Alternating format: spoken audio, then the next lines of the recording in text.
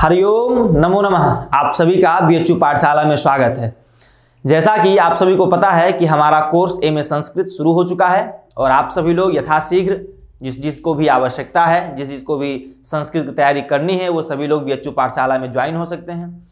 और आप सभी लोग को किसी भी प्रकार से हतोत्साहित नहीं होना है। किसी भी प्रकार से आप सभी लोग को ये नहीं देखना है कि क्या मेरा हो पाएगा, संस्कृत में नहीं हो पाएगा, तैयारी कैसी होगी। नहीं, आपको एक परसेंट भी, लेस मात्र भी आपको हतोत्साहित नहीं होना है। क्यों? क्योंकि भगवान श्री कृष्ण ने गीता में कहा है क्या? कर्मण्यवाधिकारस्ते माँ फलेश कदाचन, माँ कर्म फल हेतुर्भो माँ तो संगोस्ति कर्मण। अर्थात आप सभी का केवल और केवल कर्म में अधिकार है, ना कि फल में। आप कर्म कीजिए और फल की चिंता मत कीजिए। क्यों? क्योंकि फल की चिंता वो नारायण देंगे और जब आप बढ़िया से अपना कर्म करेंगे, आप अपना सौ परसेंट देंगे अपने कर्म में तो आपका फल भी एकदम निश्चिंत रहिए कि आपका जो फल होगा, आपका जो परिणाम होगा, वो भी सौ परसेंट ही होगा। इसलिए आप सभी लोग एकदम बीएचयू पाठशाला में आप सभी जुड़िए और आपको नंबर दिख रहा होगा, इस पर आप जा करके रजिस्ट्रेशन कीजिए, जानकारी लीजिए। इधर एमए संस्कृत आपको दिख रहा है।